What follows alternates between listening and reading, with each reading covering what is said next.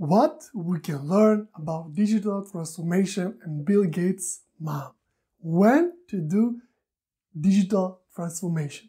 Stay tuned, we are going to answer and try to, or try to answer this question. Daniel here from Transform Digi, your go-to channel for digital transformation. So I know what you're wondering, what Bill Gates' mom has to do with digital transformation.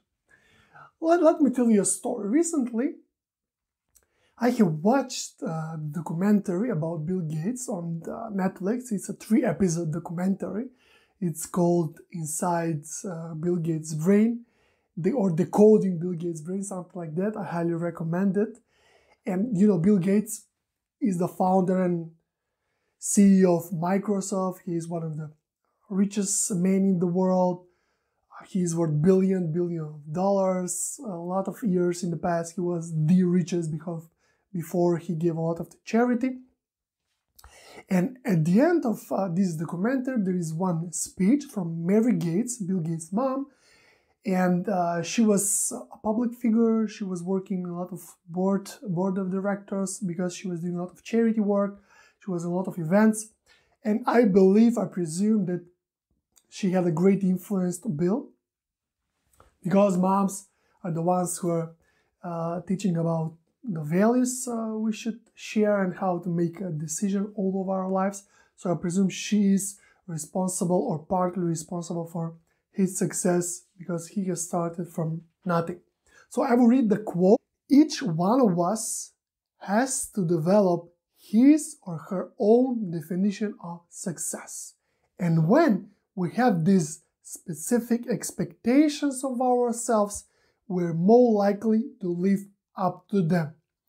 Ultimately, it's not what you get or even what you give, it's what you become.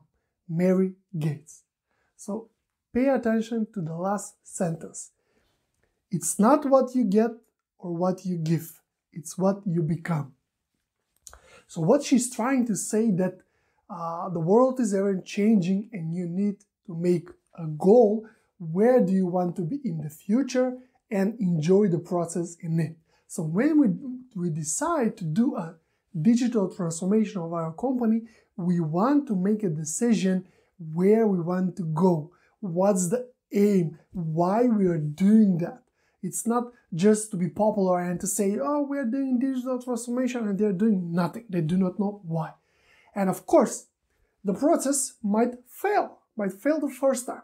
Actually, the statistics about successful digital transformation initiative uh, show that every fifth digital transformation is a success and all the others are more or less fail. But uh, the process when you start and do this, it's more important, especially now, because now with the online world, everything is uh, is connected. You cannot go business as usual anymore. That's the worst mistake. It's the worst mistake. It's not to do anything compared to try digital transformation initiative and fail because you cannot continue business as usual because the competition now is one click away. It's not like back in the days when only Uh, the local are is the competition or the regional one are comp- competitors for you. Now the competition is really really click away and they're so-called disruptors. Why they're called disruptors? Because they are disrupting the industry. Using the latest technology in the industry 4.0 we're going to talk about all this technology later in other videos all the, the blockchain ai machine learning uh, VR, virtual reality, augmented reality, all of them will be will be covered and many many more. So subscribe to this channel in order for not to miss any of those updates. So after we have concluded that it's it's time to change, it's time to put this initiative in progress. Now we have the dilemma when to do this digital transformation. And this is really great described in the book, but by Clayton Christensen, The Innovator's Dilemma. And we have here the dilemma. And I will go to the chart now.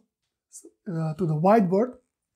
So as you can see, here is the output, how much the company is producing in growth, in revenue, in production, in services, in profit, the output. And here is the time. Here is the time. Here is the time, how long it takes. So here we have one company, I will not tell you which one is it, and uh, she's trying to succeed, trying this, that, that. This is usually the success. The success doesn't go like that. This is, this is not happening. This is not happening. This is false. This is false. If someone says you, uh, you are overnight success, they're wrong. They're wrong. Or maybe they're they're lying or they're not showing everything. They're not uh, showing all the the fails. So I will delete.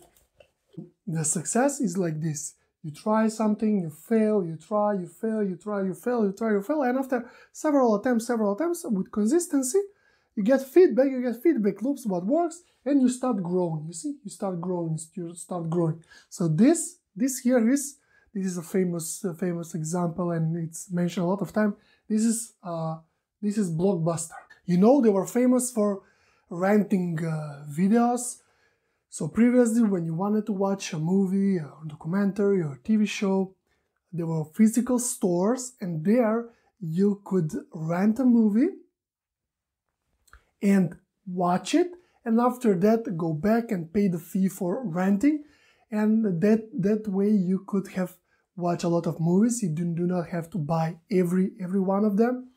You you can just rent them, and they had a lot of physical stores, a lot of employees, and they were. a really blockbuster. They were really huge, huge in the United States. And there it comes Netflix. This blue one is Netflix. So what happened? Netflix also also had renting, also had renting. So they were here, something like that. And they say uh, the the future is here. We need to adopt and we need to do digital transformation. So what what they have done? What they have done? they start with online streaming and when they start with the online streaming and offering uh, videos and movies online their income decreased so they went they went below and after certain certain period of time they start growing exponentially this is where they started disrupting the blockbuster and the blockbuster guys they were seeing the new competitor, but they didn't want it to change. Why? Because they already had successful business, they already had great income, and what's more important, they were making more money for, from the late fees than from the actual renting. So their income from people renting the movie, forgetting to, mm, to bring it back on time, they will have to pay late fee. So that was one of the great uh, part of the income. And they say, if we go online, well, uh, people, they, they cannot uh, return, not return it on time, so we will lose a lot of money. And what happened? They were disrupted. They closed, everyone knows that. They, they came here, so were disrupted, and Netflix, Netflix became a large, large success. And the question is, when you should innovate, when you should start with digital transformation initiative. When? So is it here when you're growing? Is it here when you have dominant uh, position of the market? Or here when you are the, the largest, the biggest, uh, you're starting to, to be more bureauc- bureaucratic, uh, you're not that flexible on when you're when you're dropping or which happens most of the time here at the end Blockbuster tried to digitally transform themselves, however, Netflix was gone. Netflix was gone and it was too late. Same happened with Nokia when they they were the largest uh, producer of mobile phones in the world and they they didn't uh, think about it they didn't adopt the android uh, platform they had their own symbian and it was too late they were here so let's go back to the uh, Mary Mary Gates uh, statement. What she's saying is saying that it's important what you become. So that means it's a process. You're becoming. That means that doesn't matter in which part of your journey as a company you are.